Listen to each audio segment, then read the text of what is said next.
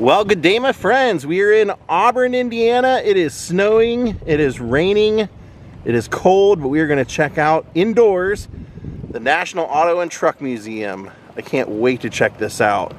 There's some pretty cool things from what I was able to see online. Daze with Jordan the Lion, it begins right now.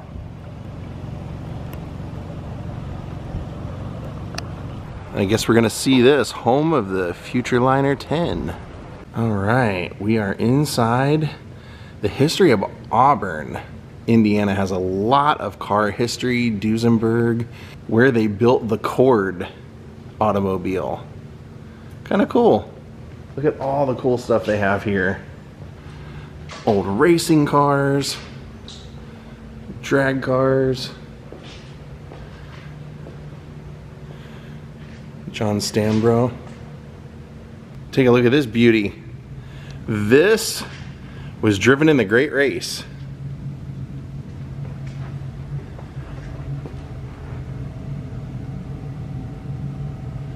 John Toller, all kinds of names on it. The Great Race is a vintage cart time distance rally that's held in the US over a nine day period each June, covering over 2,000 miles in nine days. Cool feel like that's my life sometimes. They have all kinds of toy cars and planes for kids, the pedal cars here on display.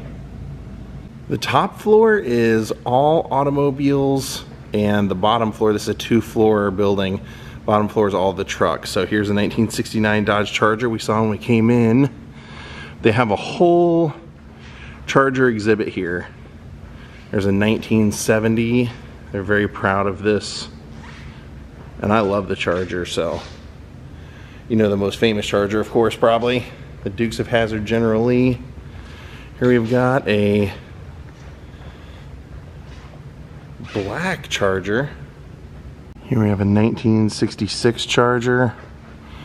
Since they kind of stacked them to display, they're a little hard to show all the detail. But this is 1966 Charger known as the Lawman. Alex Strand. This is racing car, his drag car. Here they have a vintage diner on display if cars aren't completely your thing. It's the 1948 Valentine Diner from Angola, Indiana. Not too far from here says it was built in Wichita, Kansas and shipped in various pieces to Angola. Sorry to interrupt folks. Just looking around. Now back here we have the golden age, says, with a standard oil display and an old 1903 Ford Model A.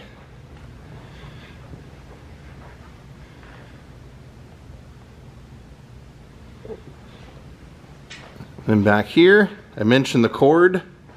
There's a 1931 Cord L29. So these would have been the cars that were built here. I would have driven it. That's a beauty. That is a beauty. And then that is a 1910 Pratt Elkhart, which I assume also was built here because we're very close to Elkhart, Indiana. Probably where they got the name the Elkhart. Beautiful car. And right next to this is the Duesenberg Museum. I'm not going to do that today. Just because the weather's supposed to get even worse. 1929 L29 cord. That is also beautiful. That's like copper. Copper trimmed. Copper color trimmed.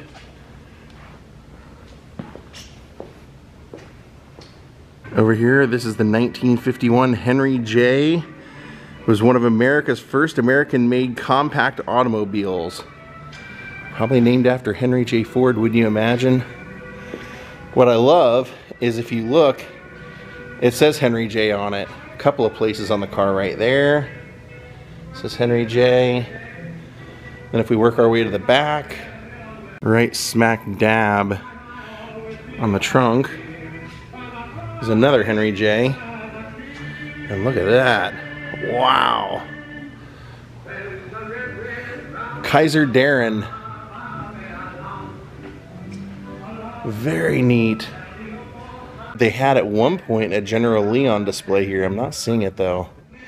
Back here, little nod to car dealership here in Auburn. Charles Becker Motor Car Service. See selling some automobiles here.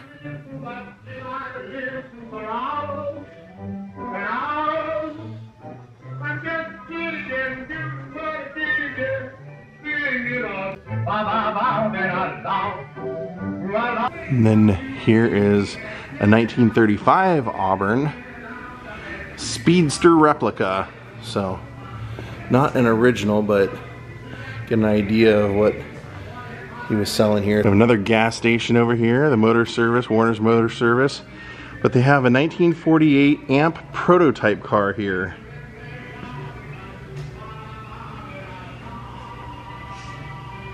Let's see, what do we think of the AMP? I don't know, it's a little dull looking to me, in my opinion. We have a 1974 Mercury Capri, or Capri. I think they call it a Capri, but people in Italy pronounce it Capri. Then here we have a Barracuda. That is great. 1970 Plymouth Barracuda. Beautiful. Beautiful. I love these cars. 1971 Chevy Corvette T-Top. Beautiful color. That kind of screams 71, doesn't it? And look at the color of the T-top. They went two-tone on it. Beautiful car. And that is the 1971 Indianapolis 500 pace car, 500 mile pace car. Dodge Challenger. Here they have a 1969 Barracuda Coupe. It's a beautiful car, but I kind of like this one next to it even more. A red DeLorean. The DMC DeLorean, probably most known for the being the time machine, Back to the Future, didn't see a whole lot of them in red in my life. so that's pretty cool.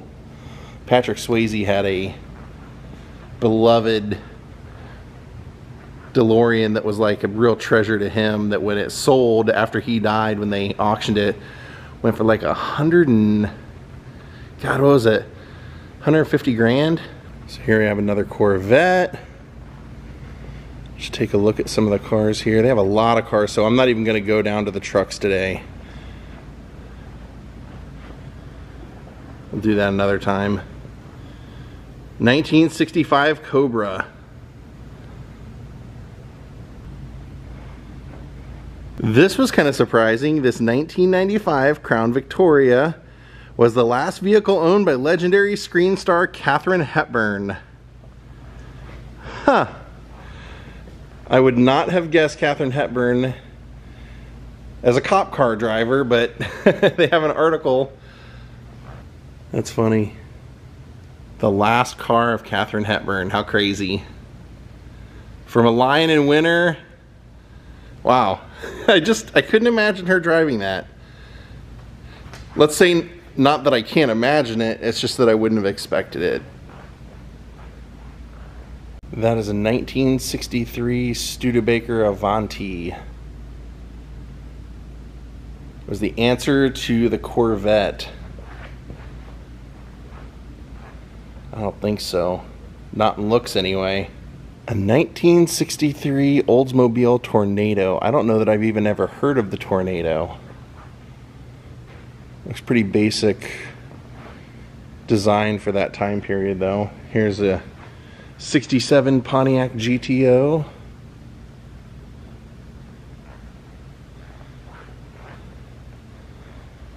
Right there is a 1969 Camaro. That is a very cool car. Love those old Camaros. And then a 66 Oldsmobile 442.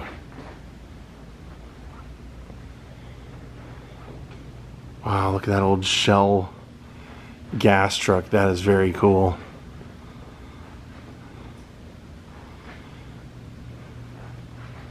Nineteen forty one. Then over here they have a brewing wagon for beer barrel delivery. All kinds of. I'm surprised they have some of the trucks up here because they have some, downstairs supposed to be the big truck area. Here we have a couple of Model A's. Here's two different 1931 Ford Model A's. Looks like hard top, truck style, with a bed in the back for hauling. And then the deluxe Phaeton. More of a family car, looks like. Luxury. We're getting close to the Futurliner. First, we have to enter the world of Hudson. Here we have the 1951 Hudson Pacemaker.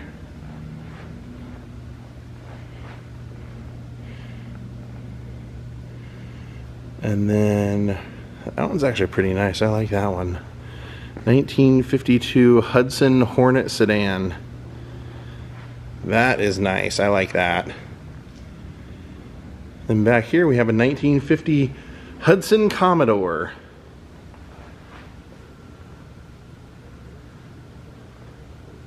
And this was the 1941 Hudson Deluxe Sedan.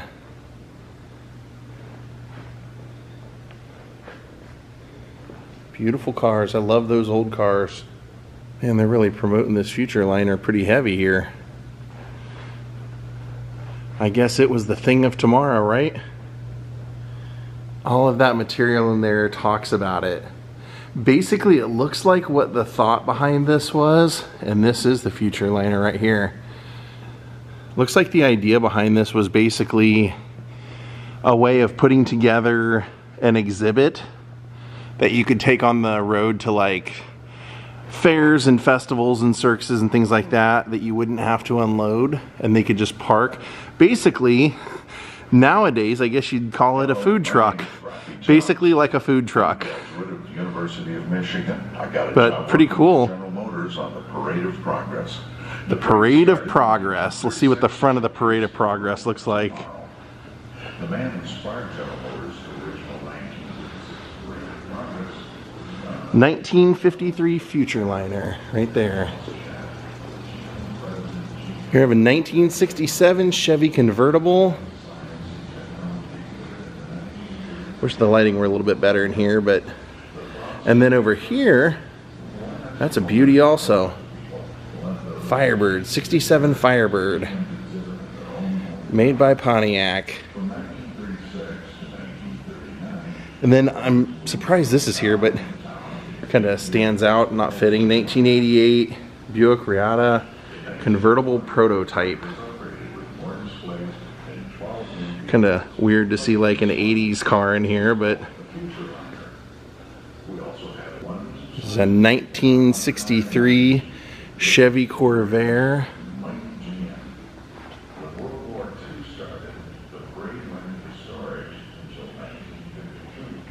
Haven't been looking in a lot of the cars just because I wasn't quite sure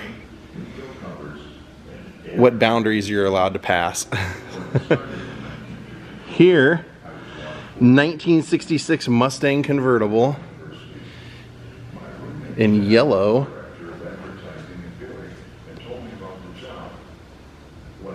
Here's a 1955 Ford Thunderbird. Now right here in the center they have a bunch of race cars you can see and right there you can see one that says Marty Robbins. Country singer Marty Robbins.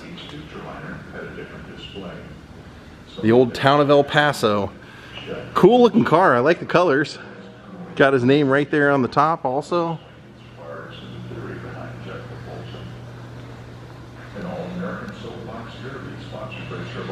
We still have a few other things to see and then just past that is Richard Petty's 1964 Plymouth Belvedere. I figured as soon as I saw that 43, I'm like, I know what that is. Look at that. They've got the whole history of the car and everything right there. Oh, bummer. Real small lettering. It says this is a recreation. Ah, exact replica of the car that Petty built to win the 1964 Winston Cup. That's all right. I'll take it. You get the feel of what it should be like. In the king seat right there. That is the race car of David Pearson. And then this one's Terry Labonte. Famous name in racing. Terry Labonte's Piedmont. And a 1969 Ford Talladega Benny Parsons race car. Torino Cobra, says. So he raced this 1969 at Talladega.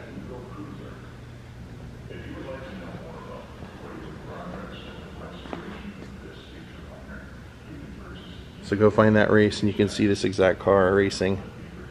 Oh, an Edsel Corvair. Now we're getting to like the Brady Bunch style family cars, I feel like. Station wagon over here. 1970 Buick Estate station wagon.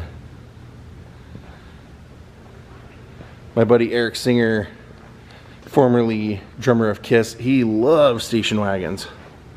Kind of one of those odd things you wouldn't think.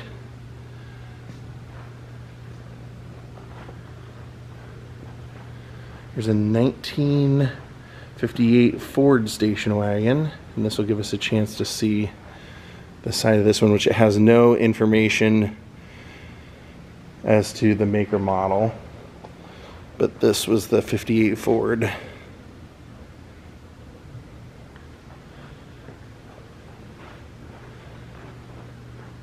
Here's an old Sinclair gas truck. And of course, the wood grain, wood trim.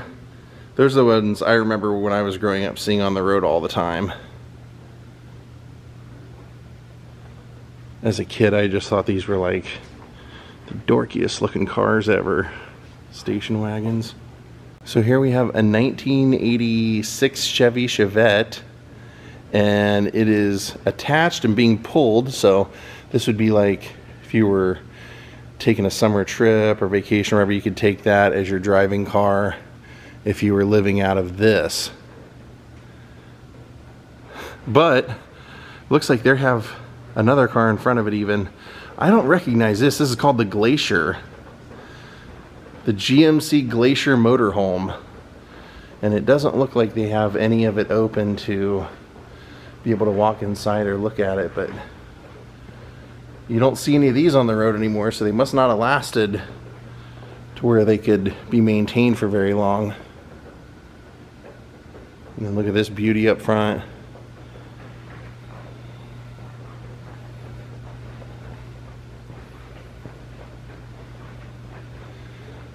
Nineteen fifty one Ford. This is the 1960 Buick LeSabre.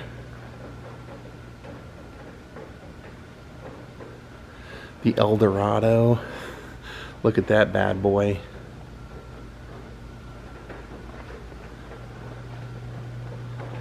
Nice. Then you gotta love that color. Even if you don't love that color, you gotta love that color. Sedan DeVille 1957 Cadillac. That is so nice. So nice. And then over here, an old Studebaker with the fins, which I think that's the main thing they're showing right here is all these cars with this section is kind of showing off the fins. Fins of the 50s. Guess I should have been showing those traits, right? We'll do it now.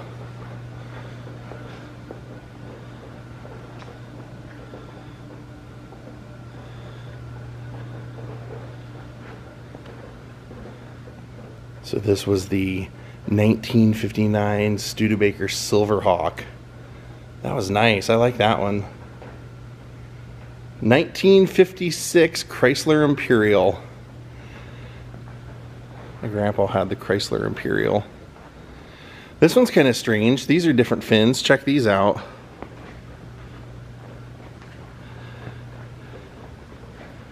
You've got your lights on the fins up here. On both sides. I don't know. What do you think? Kind of a cop car look to me, in a way. And then lastly, we have a 1962 Chrysler 300 hardtop. Now there are other things in this museum. This place is huge, and like I said, there's even a museum right next door you can go to. There's a bottom floor to this of just trucks. But I've learned that people that watch videos on YouTube don't really watch much longer than 15 minutes, so I'm gonna go ahead and save the rest of that for another day. I think we saw a lot of cool stuff today, so I'm really glad that I stopped even though the weather was horrible today. The weather was so bad that when I walked in, she's like, can I help you? And I said, yeah, I'd like to see the museum. She goes, oh, oh, okay. Yeah, I didn't think we'd see anybody here today. Oh, wait a minute, we didn't see these. There are a couple of cars over here. Got a City of Maumee police car, a Bel Air. Yeah, these are actually worth checking out. There's a handful of cars over here.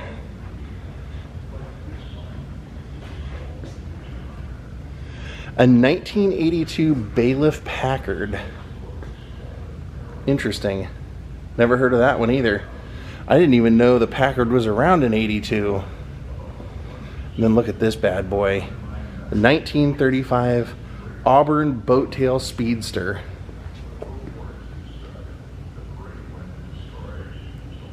That is pretty freaking cool. Supercharged. And then I guess our last car now, technically that I'll show you is the 1951 Deluxe Victoria Hardtop. Which that is a nice car. Those hardtops look nice.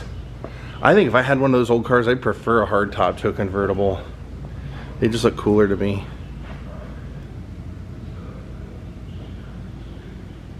Unfortunately, no General Lee, but we've seen them before.